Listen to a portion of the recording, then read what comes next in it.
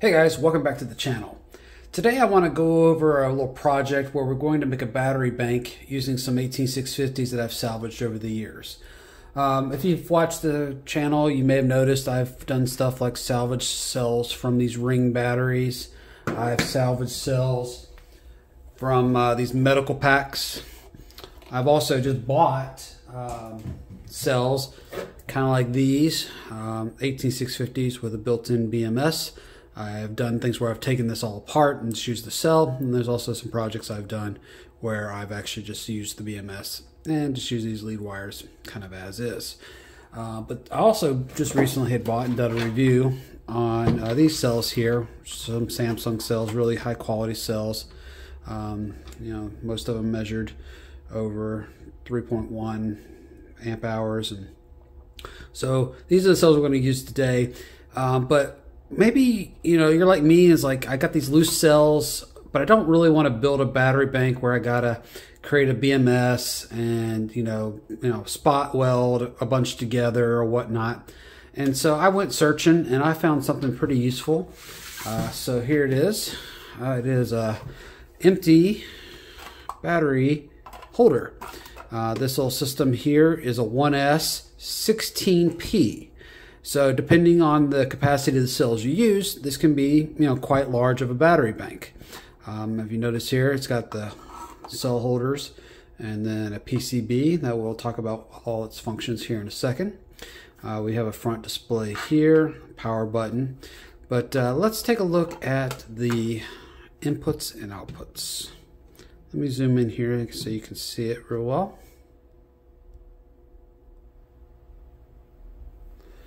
All right, so what we have here is we've got uh, USB quick charge, uh, then we have a standard, and then we have a USB-C with power delivery. We'll go over those specs in a second.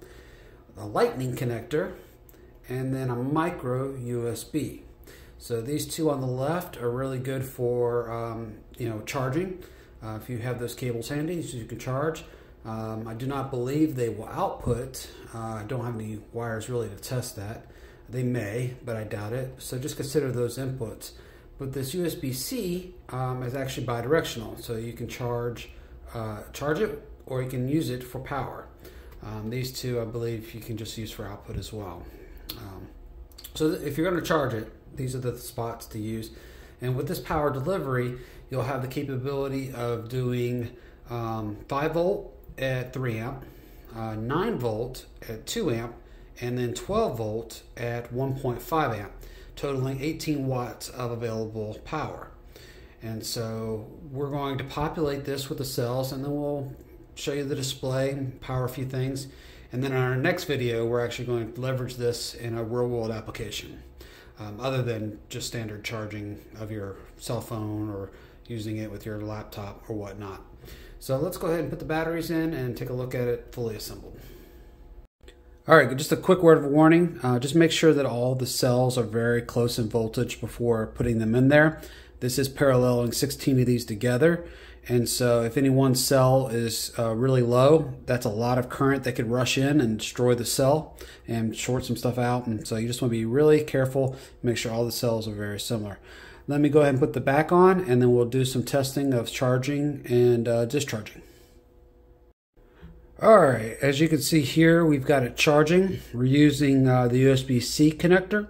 Um, this is a 45 watt um, USB-C power, but the system can only bring in 18 watts because that's the limit of the current that the system can do. I just wanted to show that, and uh, now let's going to try uh, let's look at the mini uh, micro USB and see if we see if that charges as well. All right, here we've got the USB mini connected and it's also now charging. And since that is um, probably max 5 volts at probably um, 1 or 2 amps, it's not going to be the full 3, I don't believe, because it uses the standard USB connector. Let's uh, move on to the lightning, make sure that works, and uh, we're getting close to the finish here. All right, we've got the mini connect, I mean, sorry, the lightning connector hooked up. It is also now charging. And so here's what the display kind of looks like. We have the percentage and then it has the different levels. So right now it's actually charging at 5 volt 3 amp. That's pretty good uh, input. That's 18 watts. So no matter whether you're charging the USB-C or this connector or even maybe probably the micro, you're only going to get 18 watts of max power in. And again, depending on the cells you used, um, this one is 3.1, at least 3.1 amp hour per cell times 16. Um, so that's a that's a large size. I'll put that put that on the screen to do the math real quick of what size that is.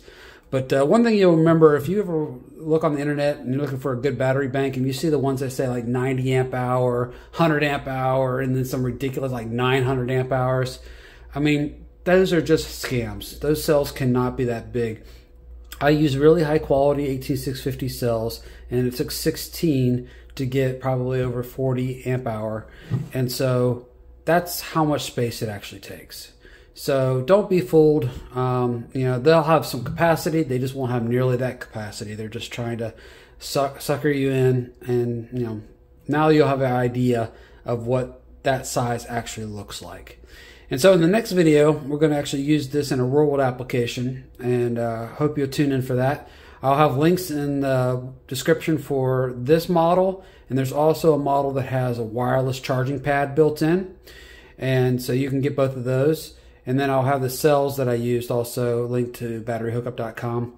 Uh, if you do buy any batteries from them, if you help me out and use my uh, coupon code TECH, that really helps out the channel. We're still pre revenue and um, it'd be greatly appreciated. So, guys, have a great day. Bye.